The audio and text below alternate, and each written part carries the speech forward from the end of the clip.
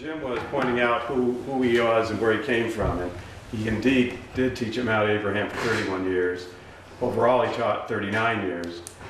Um, and uh, he's a reenactor. Um, Still in? Still in. And he has um, a wealth of knowledge that um, he shares. And it's not like he's Professor Know-It-All, but he just shares stuff that he knows. And it, it just really makes it interesting to be in a room with him when he's talking about things that he's passionate about. And the Revol- Revolutionary War is one of those passions. And um, I, we're really fortunate to have him tonight. And uh, any other accolades you want me to? No, Talk about- uh, no, You no. could pay me more money Another. next time. Uh, It is good to have a couple of colleagues here, yourself and Brenda, and you're still teaching, I understand. Why, yes. Well, yes, I should be too. I should too. Uh, I've been retired for, what, four or five years, something like that, and Yeah, one of those numbers. all, yeah. um, The people who, who work at the school tell me I was wise to get out when I got out.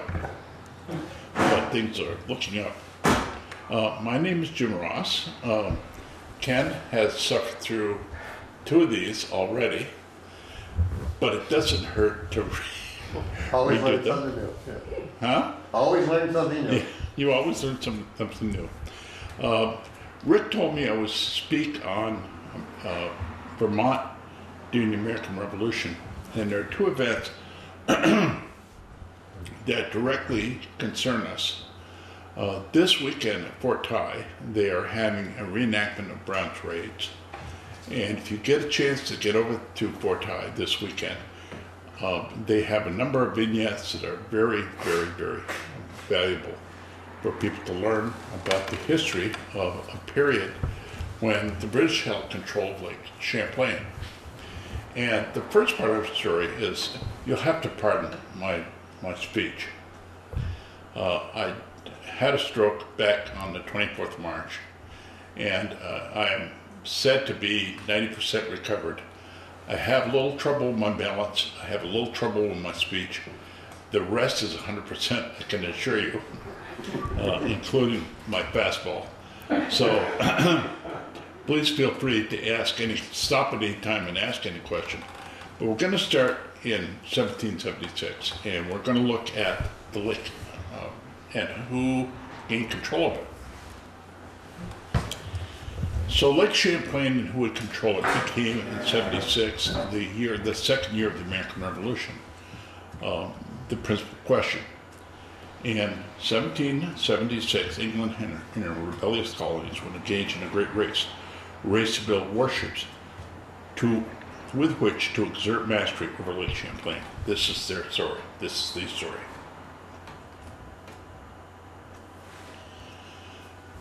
It is early summer of 1776. Um, let's start in June.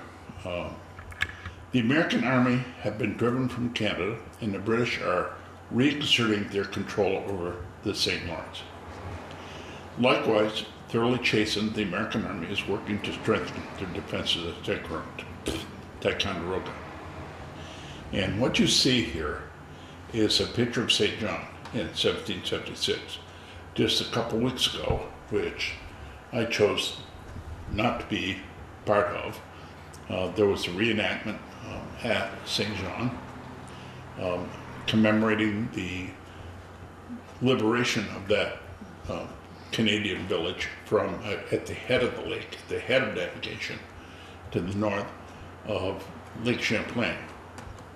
And below is one of the American ships, uh, the Royal Savage, which will become very important later on.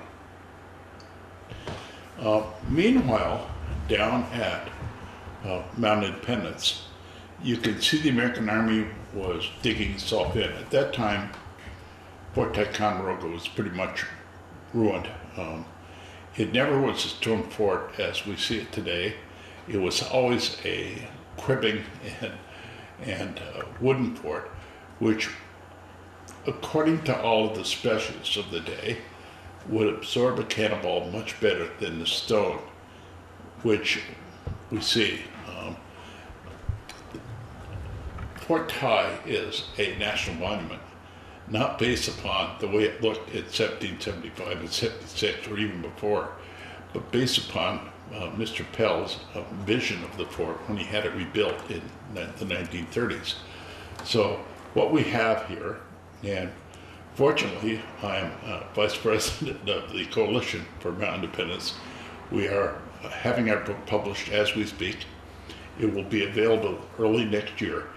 And in it, uh, a, a very auspicious artist, Gary Zaboly, has drawn some renditions of Fort Ticonderoga, which has drawn the air of the of the people at, uh, at, at Ticonderoga.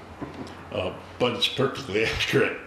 Uh, basically, basically, the fort was wooden and was in a state of disrepair, um, serious disrepair, as reported by John Montresor, Montresor, who was the English surveyor of works, uh, the engineer in charge of the British North American continent in 1773. Uh, he surveyed Fort Ticonderoga and said it would take more than it was worth to rebuild. Now, the French lines, where much of the action that took place, where Burgoyne um, took control of Fort Ticonderoga, and we'll talk about that later, um, was an extensive work that was worthy of 12,000 people alone. And there were several thousand people on Mount Independence. Those of, of you who have familiarity with Mount Independence know that it is covered with trees today, and this is what it looked like in 1776. And this is a drawing by my good friend Ernie Haas, who the original is on display at the uh, Lake Champlain, Lake Champlain Maritime Muse- Museum, thanks to me. And we have a blow up which is at Mount Independence at the museum uh, at Mount Independence. How many have been to Mount Independence Museum? Um, you all have, or most of you have. Um, it's worthy of going down again. They have put a lot of work, thanks to uh, Senator Jeffords, into the trails. And last weekend, my wife and I served, how many do we serve, Linda? 60 or 70? Uh, beef and barley soup. and we were second in line of the various uh, points that Elsa Gilbertson, who was the regional director, had for people to evolve. Uh, excuse me, evolve. Well, um, so what we have here is a picture of, of Fort Mount Independence in Fort Ticonderoga, circa 1776. And Vermont is in the background, um, all of which we know, including Bristol. Bristol Cliffs is up in the northwest corner. Um, and there were a couple of American ships, including the Great Bridge, so we know when that was completed. It was um, June of 1777. So this is 1777, 1776. And on it, um, we see the various um, brigades. There are three brigades of American troops on Mount Independence and Catfish Bay. So, any questions? The American effort was against, was centered at Skenesboro, now called Whitehall. Um, we have a number of renditions of the fort of the shipyard building in the area. And you see in the map on the very right about where the British and the Americans were building. And it juxtaposed opposite ends of the lake. The lake is 115 yard, 15 miles long, has 500 miles of shoreline, and is is during the American Revolution was the principal pathway by which armies would travel. And last year, I must have mentioned this um, as the principal highway during the French Indian War as well. So we have a picture of, of uh, Fort. Anybody been down to Whitehall recently? They have they have a, a brand new historic site marker. Um,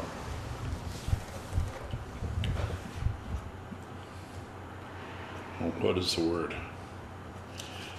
By order of Mario Cuomo, who is pre- who is governor of New York today. So there is a place where you can see what what we are seeing today. Um, very well, very well um, covered by the historic site sign. Uh, well, St. John's was the center of the British effort, and this shows uh, St. John, and I think that may very well be Fort Champlain in the foreground of the larger picture at the northern end of the lake. But with one difference, England already had a navy, a huge one, uh, the largest navy that was available to anybody. Uh, 600 ships plus, and we have, what, 280 according to Donald Trump. I think that is me. Uh, so the, British had all of the advantages. Uh, they had the advantages of a fleet in the St. Lawrence, uh, ships. Um, the Americans um, appointed Benedict Arnold as their commodore, primarily because he had had a certain amount of maritime experience.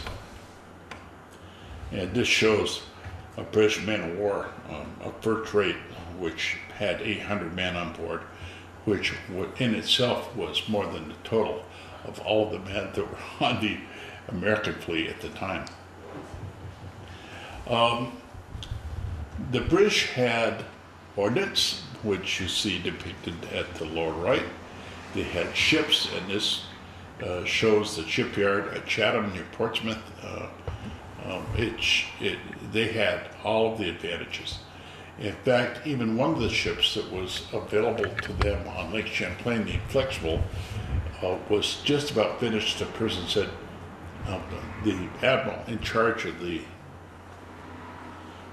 shipyard said, take it apart and number each spar, each rib, each each plank, and have it transported to to St. John to be put back together. And that became the Flexible, which was one of the largest ships ever to sail Lake Champlain.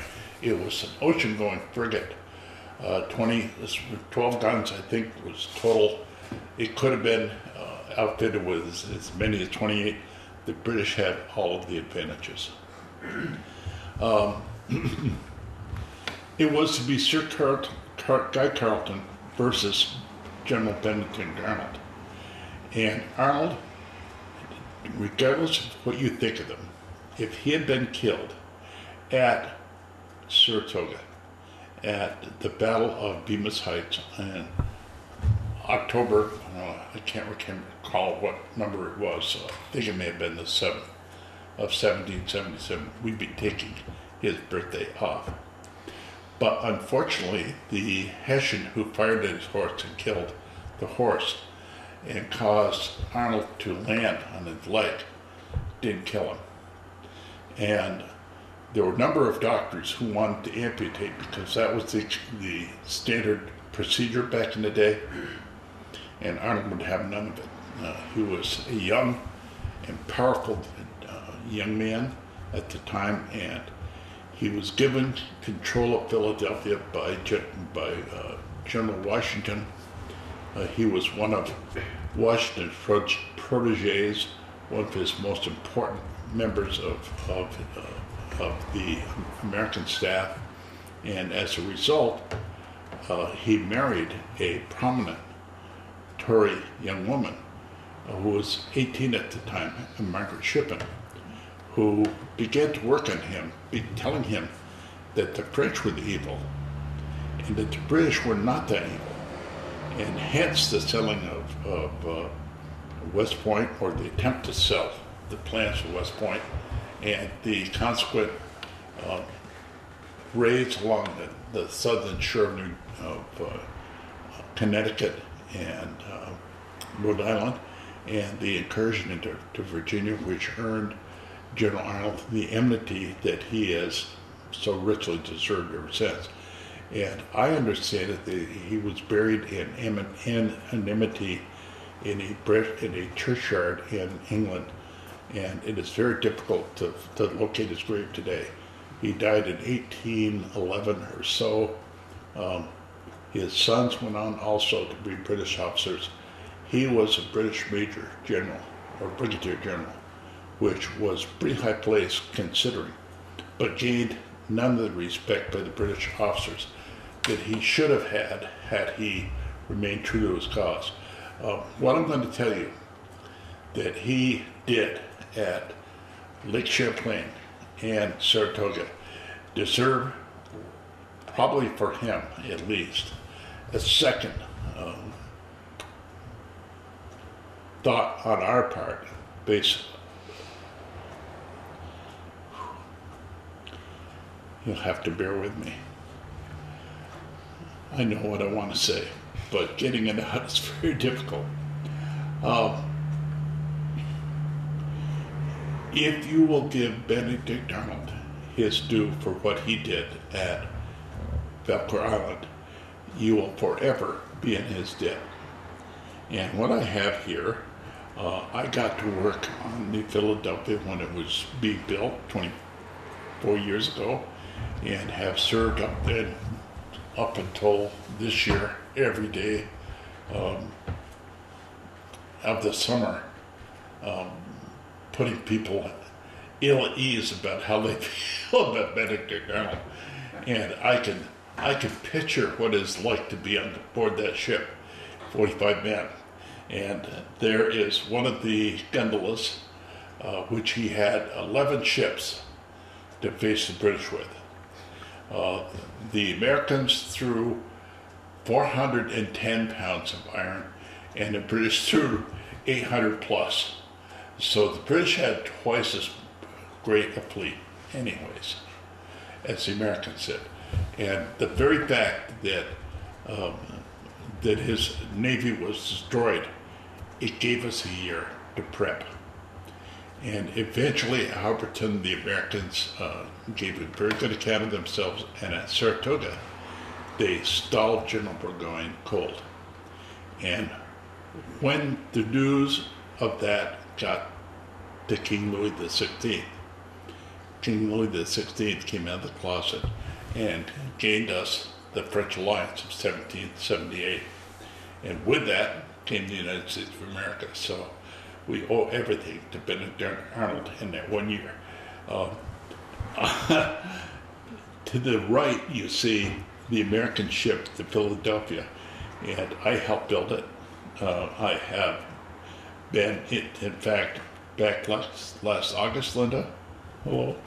Um, I was uh, the chief gunner on board. Um, despite the fact I wasn't able to stand up at the time, I was still the chief gunner, and I owe a great deal to uh, Gen- uh, Captain LaRue, who was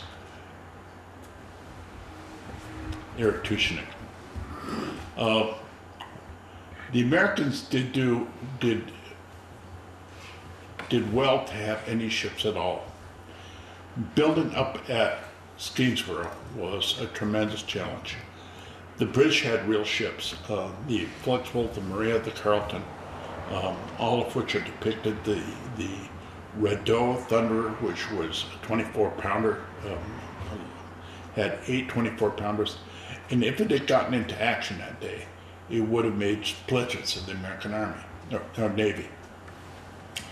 But Arnold was prescient enough not to stand at the guns of Ticonderoga and took his fleet to the northern reaches of Lake Champlain and hunted and hunted and hunted for a place which would give his ships the greatest control of the battle. And he chose Valcour Island. Um, I don't know how many of you have been by there on Route 9L, but if you have, you notice that the, that the lake provides an escape for ships that have a narrow draft. And ships that have a large draft, like the flexible and so on, can only come in from the south.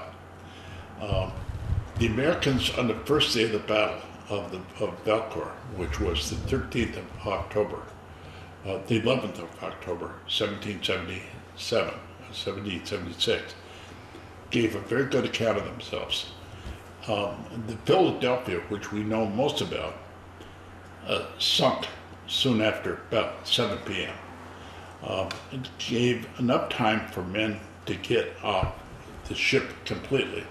There were 44 men on board, and we have recently discovered one further ship, the USS Spitfire, which is down in three or four hundred feet of water, and only a few people know where it is. Uh, somewhere south of Scotland Island, they tell me. They won't tell me exactly where it is, uh, but it's deep enough so that every third year the Art and his cohorts go down to it. It takes them entire an entire day to spend 15 minutes on the wreck. Uh, they go down very quickly, but they come up very slowly. Uh, the United States Navy is the owner of the wreck, and they tell us to leave it alone. and it is wise that, that, that, that they do. Um, in order to properly preserve the Spitfire, would cost a, a minimum of 75 million, and we don't have the money for that. It would, it would create the need for a brand new museum. It would create the brand new, uh, uh, the need for a brand new conservatory uh, located at Basin Harbor in all probability, perhaps at Shelburne Shipyard. But uh, the things that are on that boat are priceless, and they are all as they were on the evening of the 11th of or 12th of October, 1776, when the men jumped overboard. Uh, the Spitfire was built by a, a separate group of shipwrights, so it's somewhat different, uh, but it, it is a wonderful piece of living history. And I, for one, I don't know if I'll live to see it, but someone will live to see it. Um, maybe it'll be Scotty, be me port, and they move the entire ship up that way. Uh, I, I don't know how they would do it, but uh, it is down 300 feet in very cold water. The only thing that Art tells me, Art Cohn, who is the retired director emeritus of the Lake Champlain Museum, is a quagga mussel, which is a special uh, form of, of zebra mussel, some type of mussel that is uh, specific to the Asiatic that lives very deep. And right now, we don't have anything on it.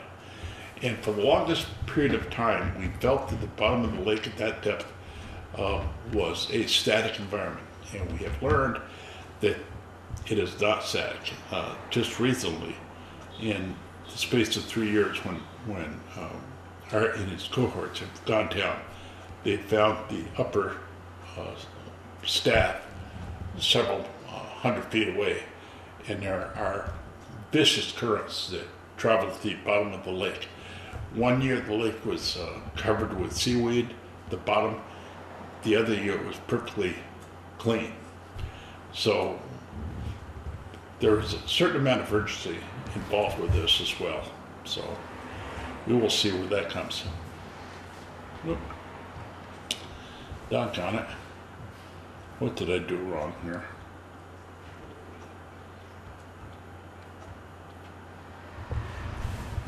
Bear with me. And the British had just barely gotten done with their building program. And don't forget that the Earth was going through a period known as the Little Ice Age. And during that time, um, the, the peak of peeper season, um, leaf changing season, occurred around Labor Day.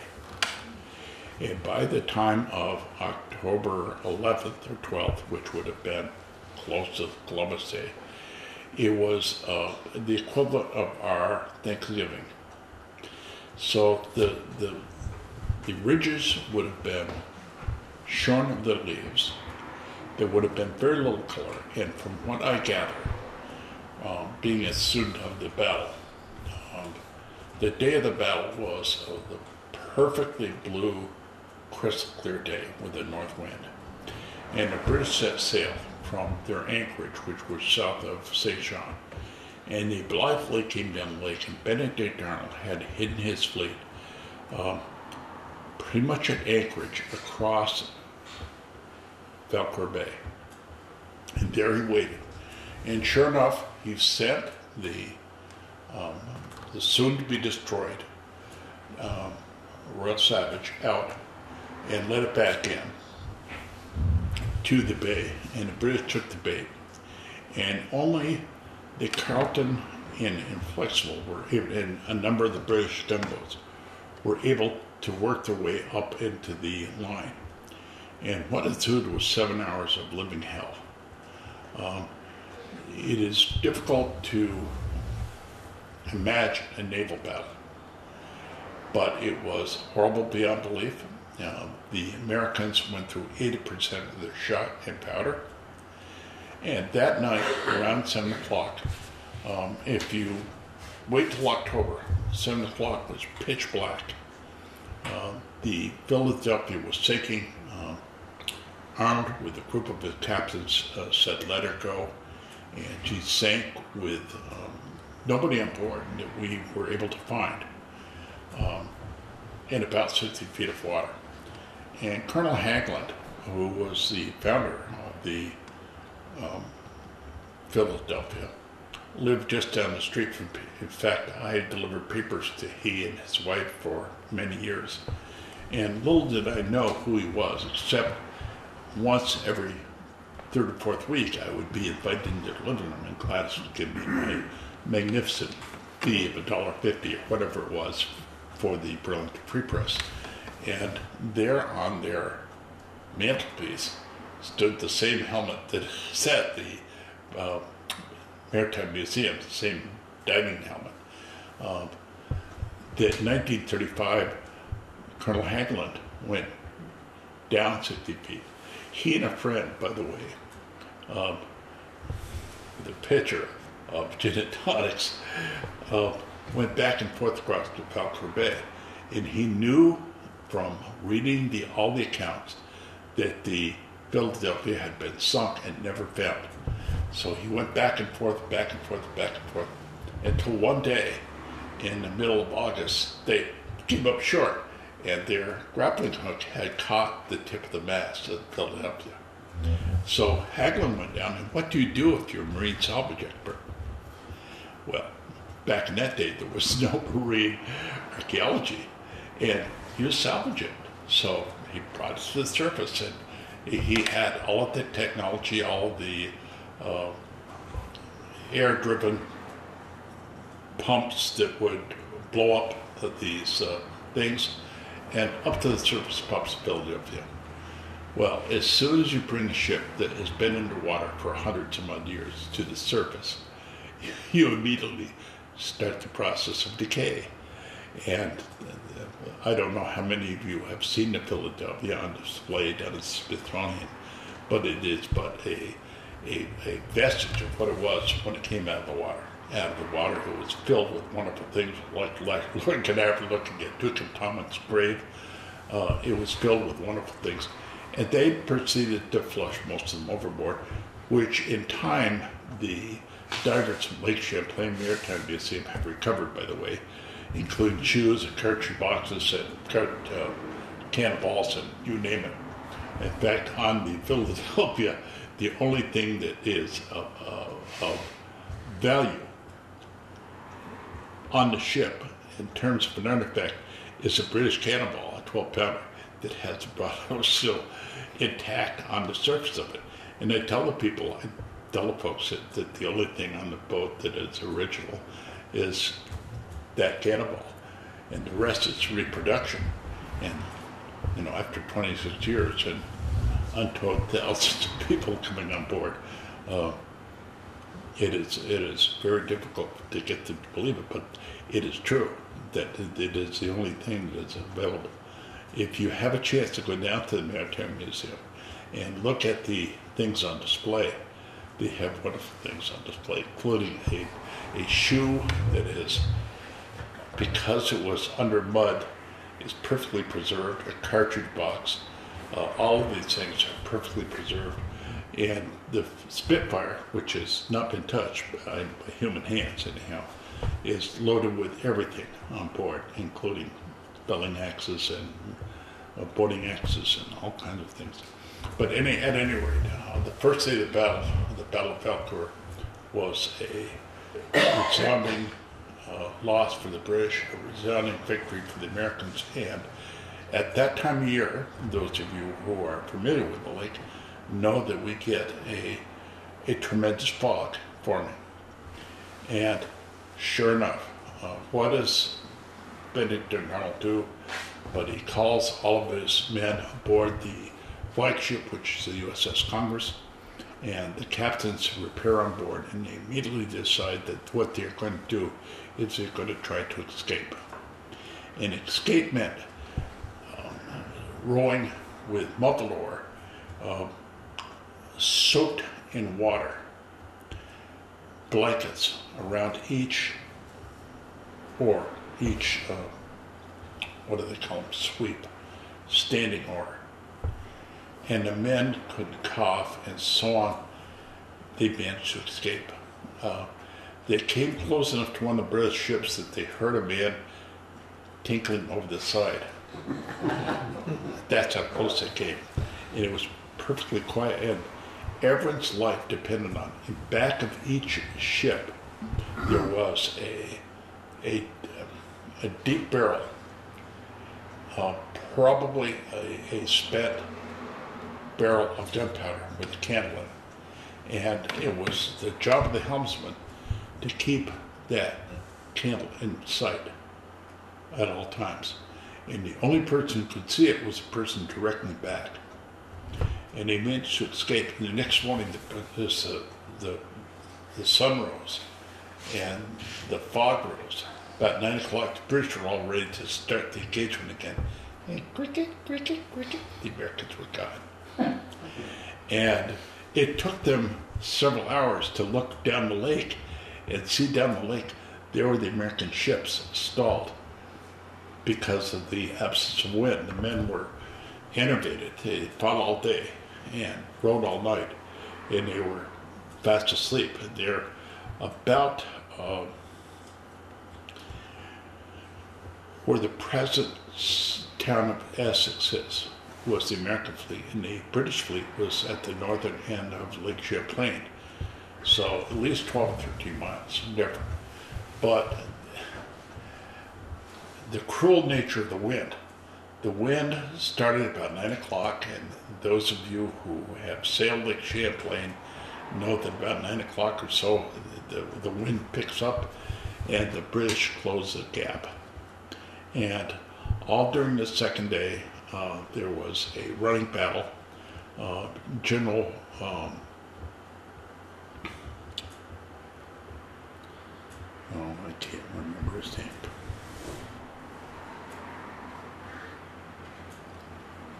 You'll have to forgive me. I thought I knew all this, but um, it's a Dutch name. I know that. Help me. You could make one up since we don't know.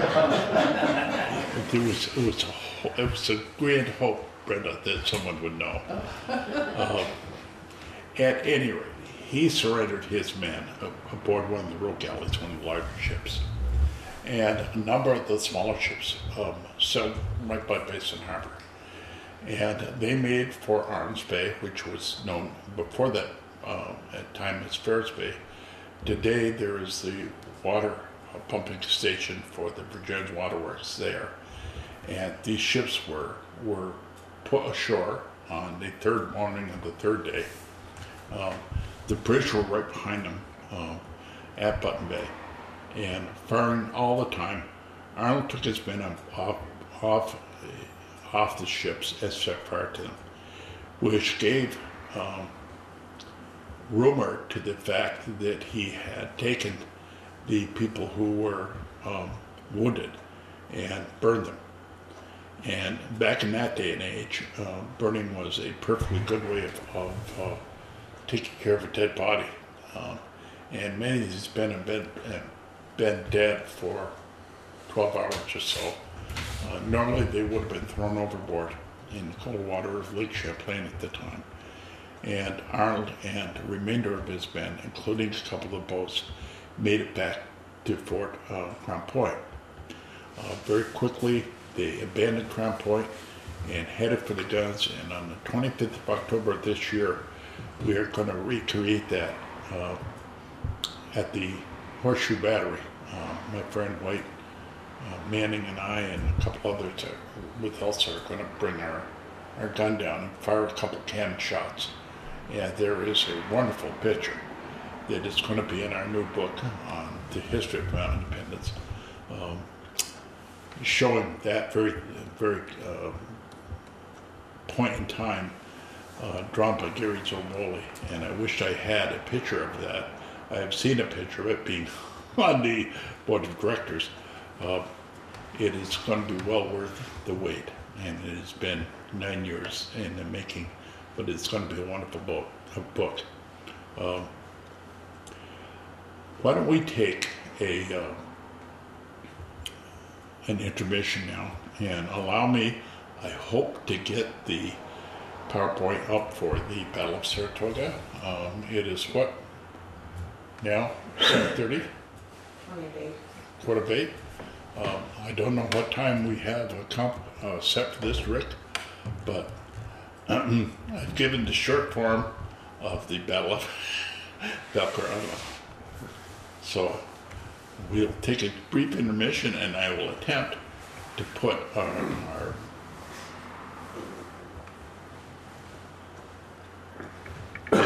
video, uh, Looks like you got the title page. I have the title page. And I have, I have board slides available on this. Um, I, I don't, I don't know where the rest went. I I have no idea. It's a good thing that, that uh, Ms. Bolton didn't offer, offer me to come back. I had a whole bunch of recent research that Win Underwood, well, recent, studying in 1948 when he was a student at, at Middlebury College, as his thesis in history, wrote about the defense of Vermont in 1778 uh, through 79 through 80. And my, my recent group uh, is Benjamin Cooley's Garrison Company in Fort Vengeance, which is just south. Fort Vengeance uh, is bisected by Route 7 just south of Otter Valley Union High School. But it was, they were the unit that scavenged the Hum- Hubbardton battlefield the day after the battle and took up 68 stands of arms, both American and British, which were left on the field. Um, the British, of course, and Hessians marched on towards Castleton and then over towards uh, and the bulk of the American army escaped to Manchester. And we would learn about them later on in uh, September of 1777 when they coalesced with John Stark and helped uh, win the Battle of Bennington um, in, in August. And later in 1777, in the fall, uh, they presented a barrier to Burgoyne that he never passed. And there were two battles at Saratoga, and in fact, very few people know this. Uh, the first battle uh, uh, took place, the Battle of Freeman's Farm took place on the 17th of September, and Burgoyne dug in.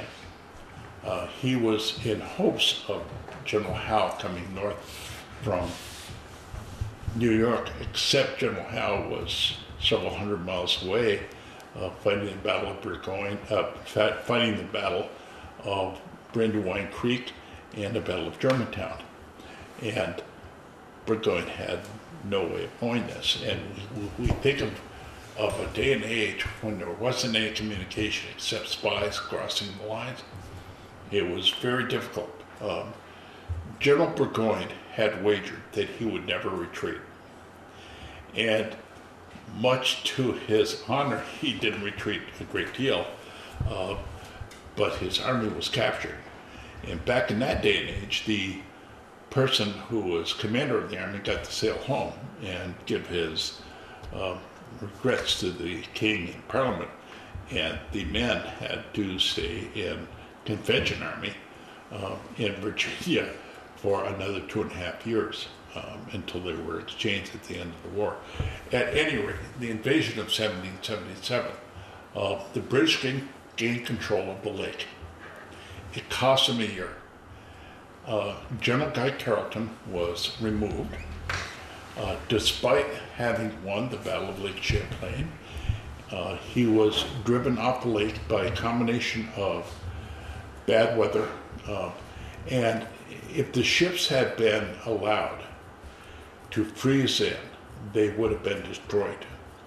So they were taken to St. John and moved up on stocks um, out of the water. And during the winter, the Americans um, built the bridge that connected uh, Mount Independence with Fort Ticonderoga. And there were a number of men that stayed, and you can't think of a worse fate than being caused to serve night, serve winter at Fort Ticonderoga or Mount Independence in that day and age. Uh, they were pretty much isolated. Uh, the band, uh, about 3,000 of them, uh, were down several thousand from what the, they had had in that summer. And their commander, General St. Clair, Arthur St. Clair, whom we correctly called Sinclair, because Saint was sin. Back in those days, Sinclair means St. Clair. So I'm told. So General St. Sinclair um, had about 3,000 effectives, many of which were affected by uh, smallpox. They built the floating bridge by building the caissons um, out of elmwood uh, right on the ice and sinking them through the ice. And there's quite a little bit of controversy about that, how that was done. Whether in March they allowed the sun beating upon the elm branches, trunks, to work their way down through the ice, or they cut the ice and built the the the, the various. We don't know. Uh, it was such a common thing wasn't recorded, and the way that Gary Zaboly has depicted it. Um, myself and Ron Morgan took pictures of the area between Fort Ty and Mount Independence. And we know there were 20, 23 some odd caissons, uh, many of which had been struck by various boats. And each year we get one or two uh, logs washed up on shore. And there are various logs at Fort uh, Ticonderoga. There's one at Ticonderoga. There's one at Mount Independence. There's one, a, a giant one at the Maritime Museum.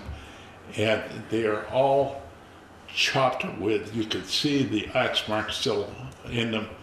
And it, these are 250 years old. Incredible. But they were built much like pyramids loaded with rocks. And today, all that's left is a few of the stones, uh, a few of the uh, logs, and a pile of stones. And in low water, which we are experiencing in Fort Ticonderoga, uh, it is problematic. You you you see the, the, the, the tops of the mounds of stones sticking out of the water in various places, and it's very problematic. Um, I have an account of John Ennis, who was a British ensign of the 29th Foot, which I used to, I started and for 19 years ran. Um,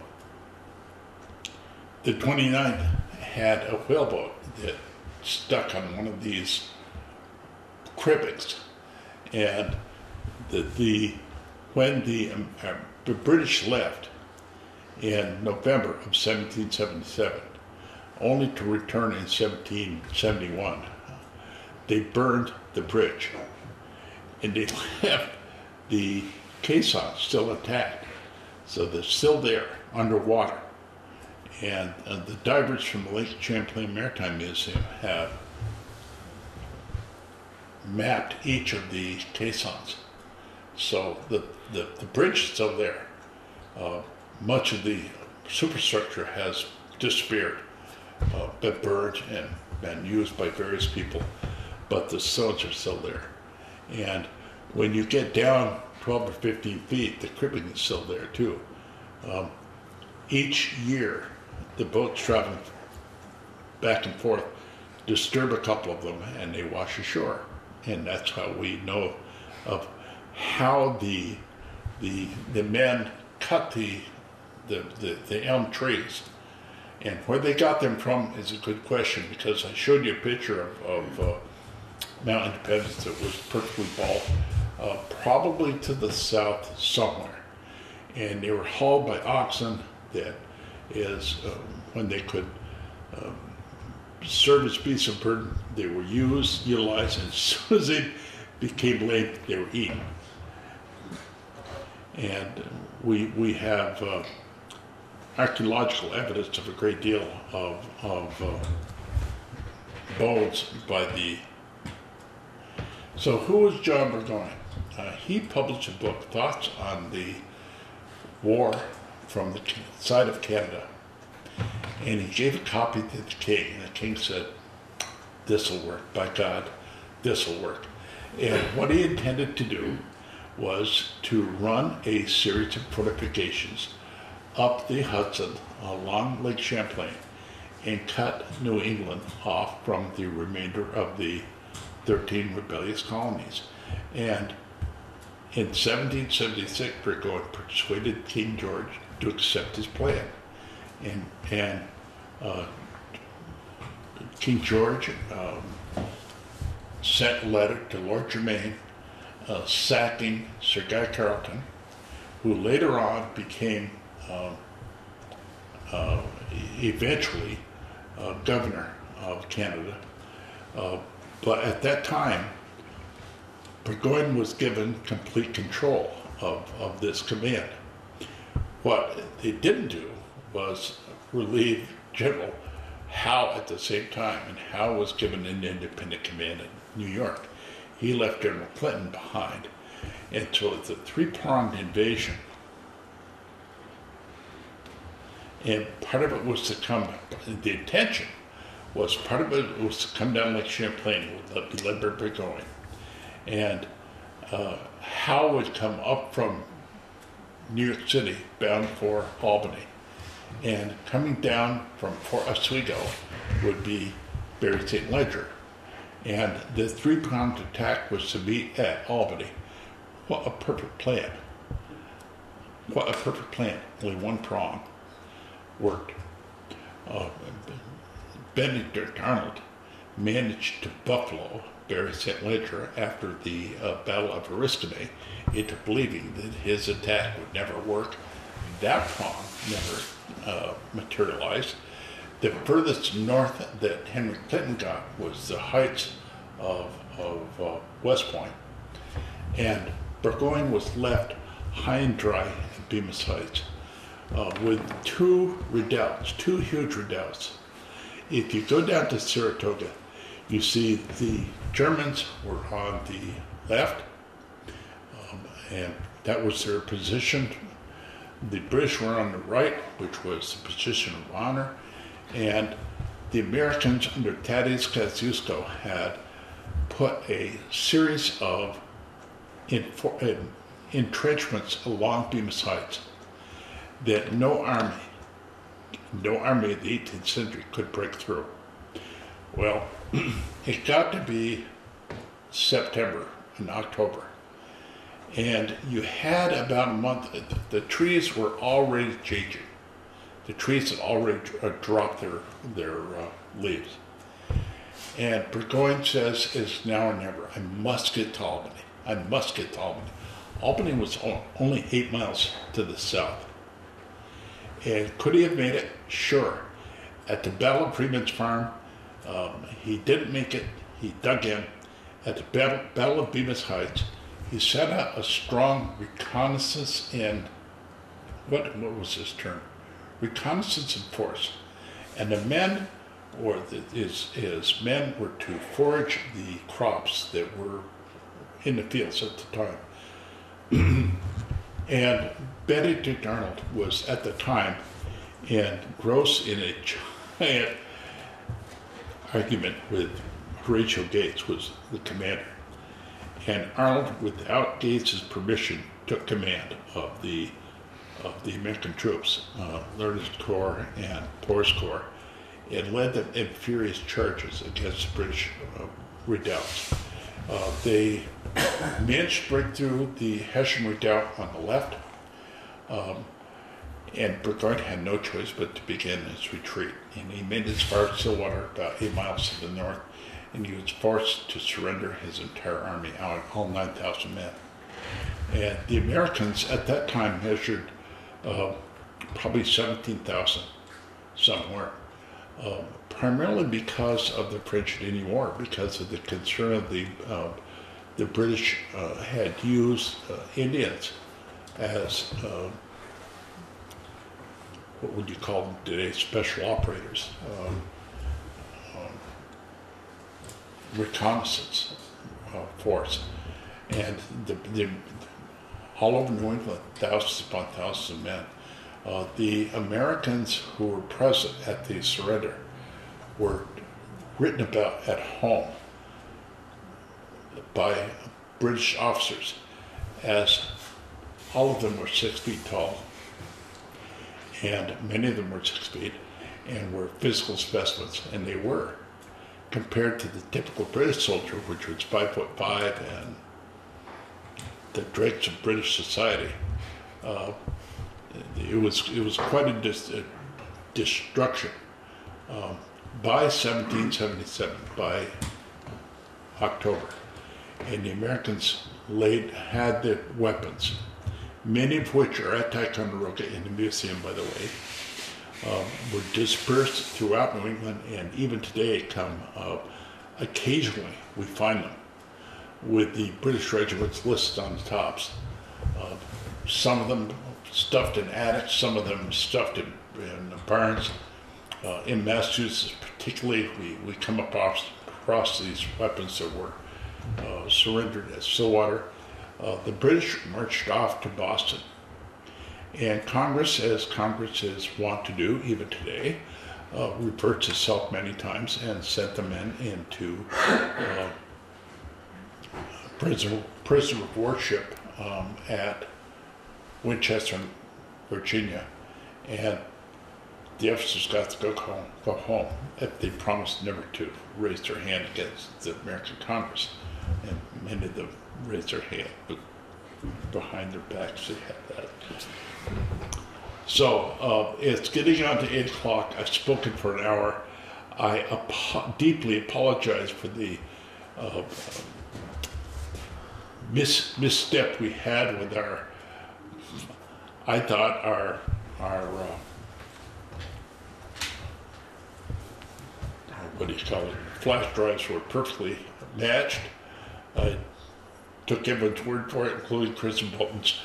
But that is a little bit about Vermont, and I can feel, have enormous knowledge of that area. So I'll open it to questions, and we'll take 15 minutes. What time do we have, sir? As long as you want. As long as I want, as long as you want, as long as you want. So, I'm at your service. Do you have any, Yeah. any ideas about people from Bristol who served in the Revolutionary War? Uh, at that time, it was called Pocock, and it wasn't, it wasn't Bristol. There were probably a few, uh, probably 10 or 15 that served in various regiments.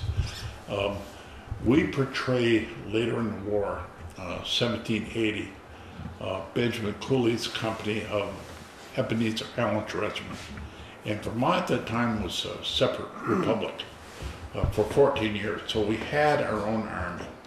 Uh, probably numbering four or five hundred. Uh, there must have been some numbers from Bristol, from Pocock at that time that that served for a period of six or seven weeks at any rate. So, yeah, Ken, you had a Uh, question. You had mentioned when, when Arnold got his men into Arnold Bay, uh, I, I had thought that he unloaded a considerable number of wounded people as well as he dead took people. all of the men who were who were able to be moved. Uh, the, the, the, the, the ones that were, the that were, were unable, unable to, to move were left at Squire Ferris's cabin, which was up above. And the only bodies which were on the ships that, that were burned were dead already. Uh, and they didn't have a whole lot of time uh, to have a formal burial. Now, the British immediately claimed that Arnold uh, blew up his ships with the wounded aboard. There's no evidence of that whatsoever. Um, the men made their way back to Crown Point within a couple hours, and within a few, uh, within a day, they, they had escaped under the of Ticonderoga, which was perfectly safe um, for them.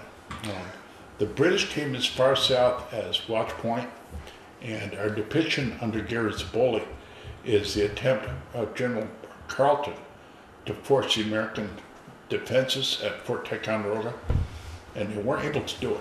Um, there was uh, too much cannon, and they had to wait until Burgoyne came down with a formal siege. He had 141 uh, pieces of siege artillery with him. Uh, enormous number of horses were required. They were driven down the west side of the lake. Um, what they didn't know was St. Clair had a terrible problem with camp fever and smallpox and had about 2,000 effectives to cover an area which would have, under the best of circumstances, required 12,000, which he had during the summer of 1776. But in uh, 1777, he didn't have them. So uh, St. Clair was court-martialed uh, after the Battle of uh, Saratoga and, and was exonerated. Uh, he showed good judgment, and it probably helped that uh, army was at that time captured. Um, but it's hard to hard to imprison a winner, and that's what St. Clair was. He was a winner. So he, he showed uh, remarkable presence. Uh, the British officers had it in their mind that the Americans were all platoons, and the Battle of Hubbardton taught them far different. That among the Americans were many members who had served as, uh, members of the French and Indian uh, battalions, and um, there was no love lost. And they they they showed uh, remarkable remarkable effect of, of small. Balcarres, for example, had its coat, I think, punctured 40 times. You don't get that by musket balls, you get that by, by buckshot. And uh, they said his coat was punctured several dozen times. We know what that was. Yes, sir. I wonder, um, after the guns from Ticonderoga were taken down to Boston by Knox, Yeah. how many were left in the Well, ruin? uh, of the the guns at Ticonderoga and Crown Point were taken down to, uh, how many were left? Uh, the people who founded the double train of artillery took the best pieces, in other words, the pieces they could carry. Uh, the heavier pieces were left at Fort uh, Ticonderoga and Fort uh, Crown Point, and were still there later on in the Revolution. Uh, but the best pieces were taken with them to Dorchester Heights, which allowed for the uh, evacuation in March of 16th, St. Patrick's Day of 1776, by General Howe, went to Halifax, by the way. Did that answer your question? I, I don't know what your question was, but Well, so the, so the forces that were then at uh, Mount Independence, did they bring that much artillery with them, which would be hard no, through the, or just No. used what was, no, they, they, they, there was plenty available at, uh, so, Well, there was enough to arm the fleet. And the, the, the, uh, uh, the, take the Philadelphia, we had Swedish guns aboard it. Um, the twelve pounder and the bow, two nine pounders, they were all Swedish guns captured in the sixteen nineties. So, and at that time, there was no way of telling how many times guns were fired. Uh, the Jersey had a gun completely disassemble itself, killing the gun crew. And you can imagine what that did to the gun crew. Today, with modern um, photography, we could see a gun be fired, and like a python, it there's a wave that goes down through it. And if you've ever taken a paper clip and moved it back and forth, you know there's a certain number of times that you can do it before it busts. Well, a cannon's very similar. Every time it's fired, it loses a certain, certain amount of its, uh, what do you want to call it? Rigidity. in, internal structure, uh, strength, eventually it'll, it'll fail. And there's no way of telling. Uh, most of the guns that were used by the British were captured lower gun deck guns. Uh, 12 pounders, 32 pounders, there's some at Fort Ticonderoga that that have never left the place. That, uh,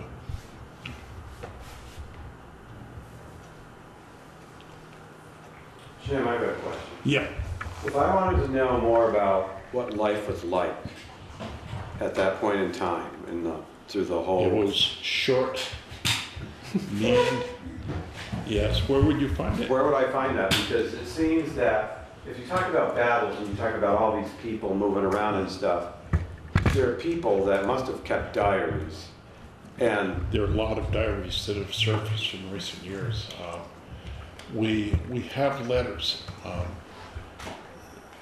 Van Independence, for example, letters that were sent by the officers who were mainly educated people who were able to write, and they talked about life and what they ate. Uh, military life is has not changed a great deal. It hasn't changed a great deal.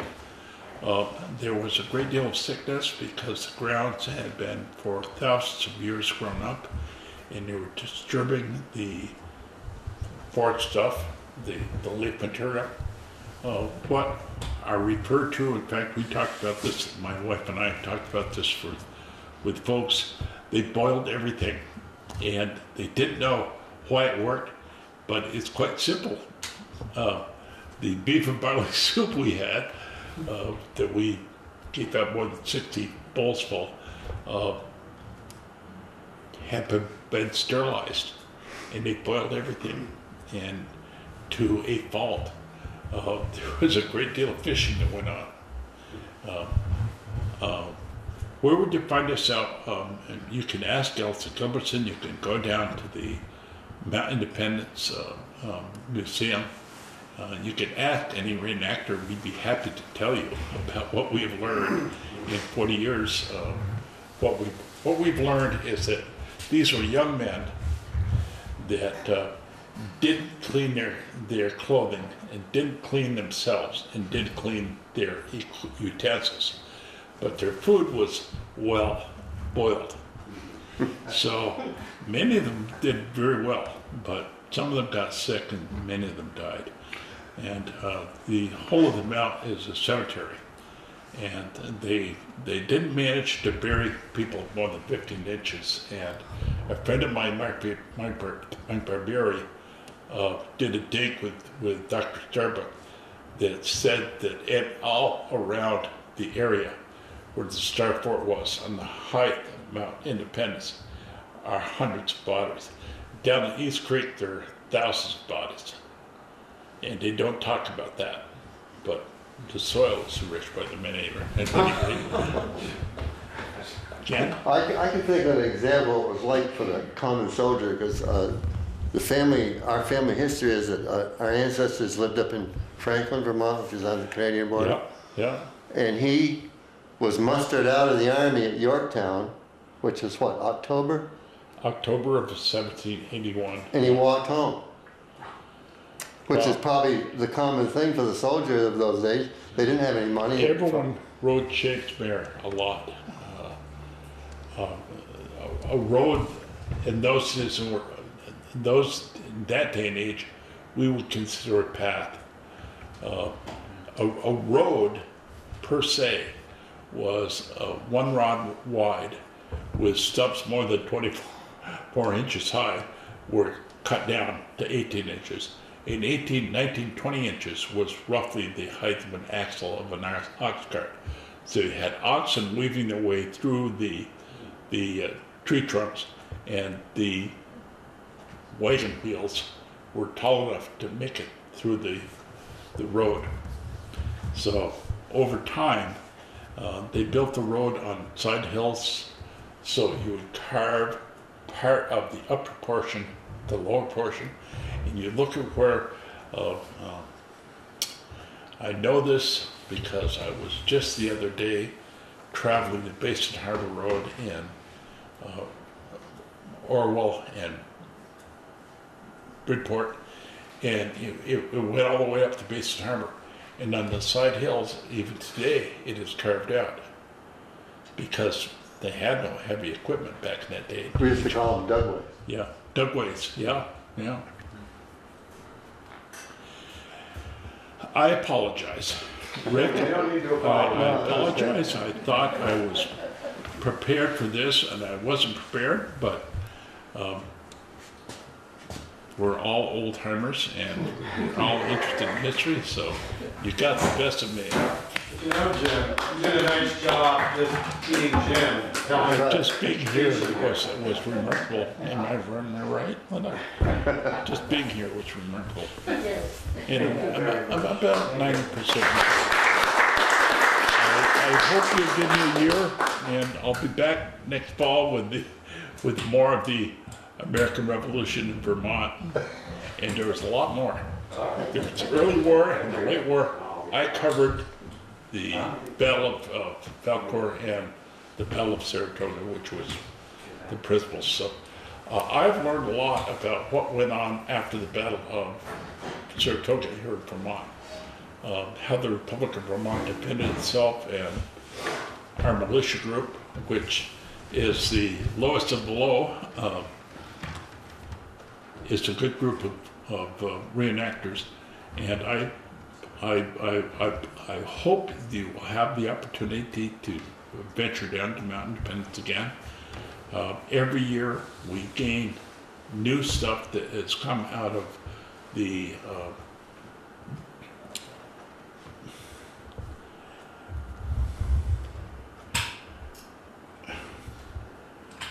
I don't know how to say it. The internet provides us a great deal of, of information. And you would be surprised how much has been digital, digitalized. A great deal. And I better quit while I'm ahead. I better quit while I'm ahead. Thank you, Jim. Thank you very much.